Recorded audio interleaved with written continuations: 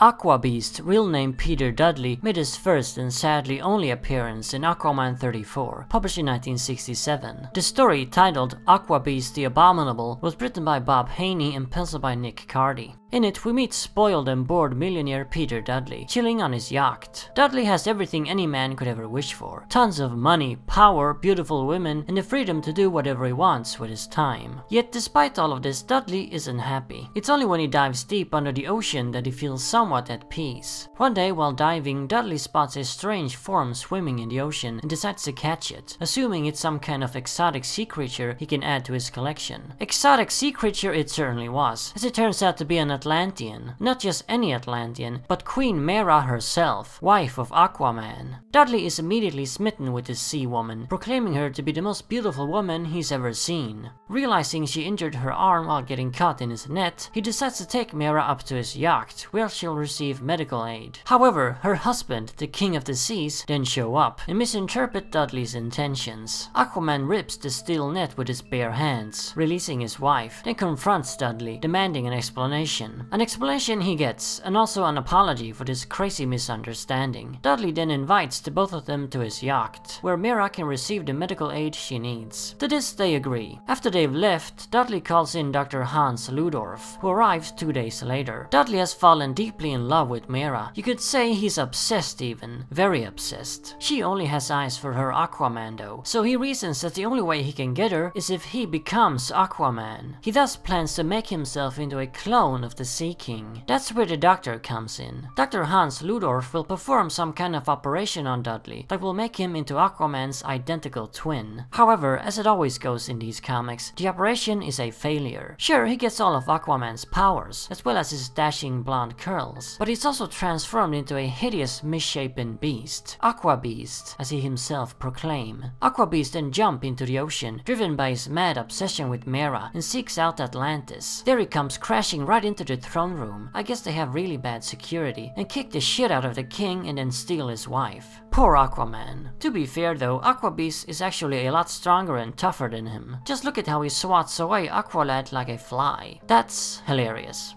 With the prize in his possession, Aquabeast takes Mera to the Forgotten Place, a mystic underwater cavern forbidden by any Atlantean. He figures no one will follow them there, but he's wrong, as Aquaman would track his beloved Mera to the ends of the earth. Turns out Aquaman ain't Aquabeast's main problem though, as a weird alien stranded on Earth resides in this cavern. This bizarre extraterrestrial decides to use Mera's brain matter to restart his malfunctioning computer. I guess he really needs to check Pornhub. Dudley naturally don't respond well to this, and the story ends with Aquabeast sacrificing himself to save Mera from the wicked alien. The final bit of narration hints that Aquabeast might return in the future, but he didn't. The character never showed up ever again.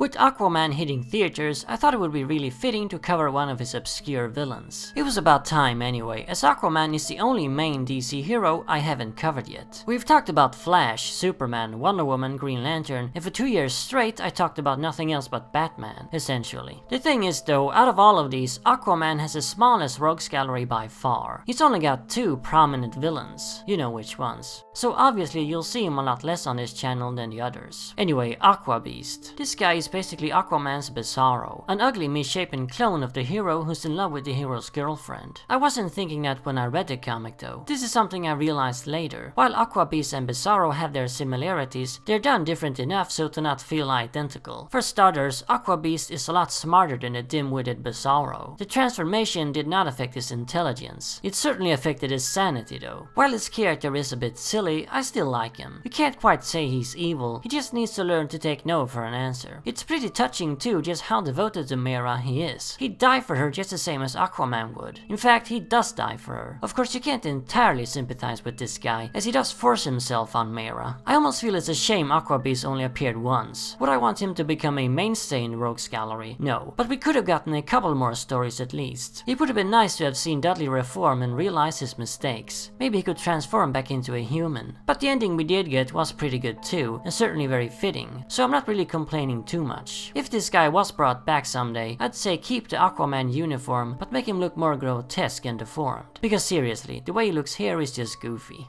Anyway, if you want a fun Silver Age Aquaman story, then I highly recommend Aquabeast's single appearance. And as always, remember, Arkham Asylum awaits you in the next video.